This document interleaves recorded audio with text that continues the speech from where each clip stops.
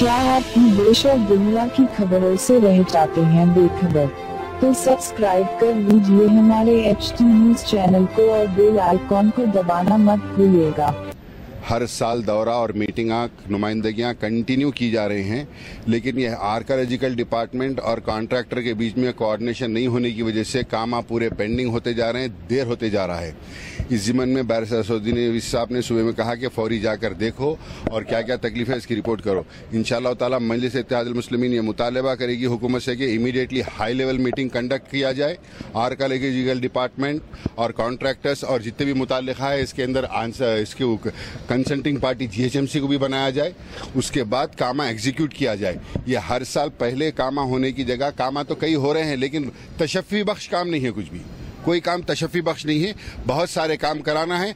हुकूमत जो है सो पैसे करोड़ों रुपए सैंक्शन कर रही है उसके बावजूद भी ग्राउंड के ऊपर अमलावारी के वास्ते जो कोताहियाँ जो पेंडिंग जो डिले आज ऑफिसर्स का काम आर्कोलॉजिकल डिपार्टमेंट का काम है कि वो काम को किस तरीके से एग्जीक्यूट करके किस तरीके से आगे बढ़ाए। वक्फ बोर्ड दो करोड़ रुपए रिलीज़ कर चुका है इसके अंदर। उसके बावजूद भी आठ करोड़ सैंक्शन हो गया एक साल हो गया।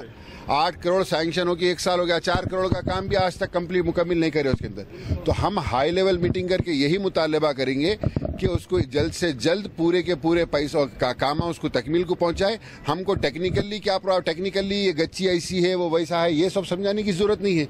हमको काम करके बताएँ आप ग्राउंड के ऊपर। हुकूमत से हम नुमाइंदगी करके हम लड़के मजलिस इत्यादमसलिमिन करोड़ों रुपए सैंक्शन करा कर लेकर आ रही है।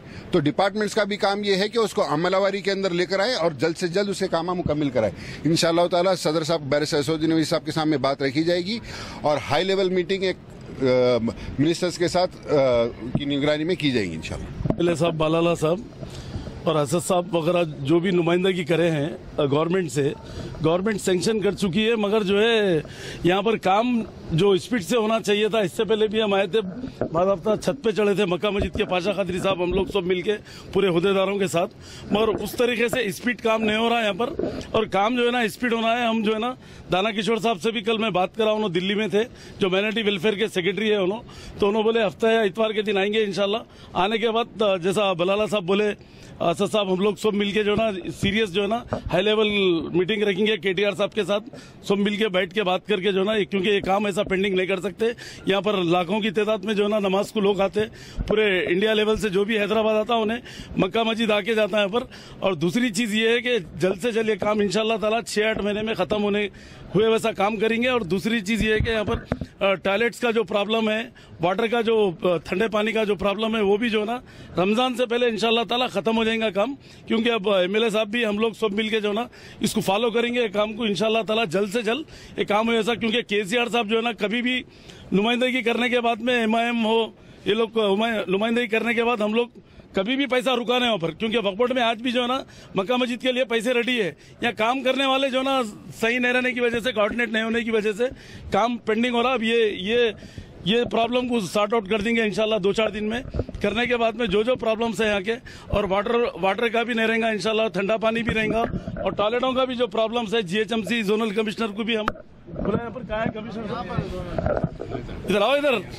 स्टाफ रहना है यहाँ पर। परमानेंट स्टाफ रख के जो है ना, यहाँ पर साफ़ सफ़ाई का इंतज़ाम, क्योंकि टूटिया नहीं है, वो नहीं है, जरा वो भी आप सीरियसली देख के जो ना काम अच्छे से अच्छा करके और पुलिस का, वो ट्रैफ़िक का, हर चीज़ जो है ना पुलिस को भी इंस्ट्रक्शन दिए और एमपी साहब हमारे, असदुद्दीन अवैसी साहब और हमारे बलाला साहब और जो हमारे सीएम साहब भी जो है ना इंटरनल मीटिंग लेके जो ना पूरे ऑफिसर्स को इंस्ट्रक्शन दिए है कि जो ना कोई चीज़ का प्रॉब्लम रमज़ान में नहीं होना पूरे तेलंगाना स्टेट में, मस्जिदों के पास साफ़ सफ़ाई और वाटर का प्रॉब्लम और बस्तियों में भी जो है ना पानी का प्रॉब्लम नहीं होना और लाइट का प्रॉब्लम नहीं होना बोल के मोबाइल सर्विस देना ट्रांसफार्म भी अगर कुछ फेल हुआ तो इमीडिएट घंटों, सेकंडों में, घंटों में जो है ना काम होना बोल के हमारे सीएम साहब भी जो है ना इंस्ट्रक्शन दिए केसीआर साहब। इनशाला नेक्स्ट आप लोगों को यहाँ पर भी कोई प्रॉब्लम नहीं रहेगा। अभी जो है ना नुमाइंदगी करके इमीडिएट जो है ना जानी माता इसलिए नहीं करे कि अभी हमारे सुपरिटेंडेंट साहब बोल रहे थे कि क्योंकि ऊपर छत का काम चल रहा वो काम होने के बाद में छत का काम चलो नहीं साहब हम जानी मास जानी मास जो है ना इंशाल्लाह रमज़ान में जानी मास तो दलाएँगे अभी तक जो नहीं दलाए सो वजह वो थी कि छत का काम के लिए मगर जानी मास भी दलाएँगे और साफ़ सफ़ाई का भी इंतज़ाम रहेगा। कूलर्स भी बोल के लगाने लगाएँगे यहाँ पर।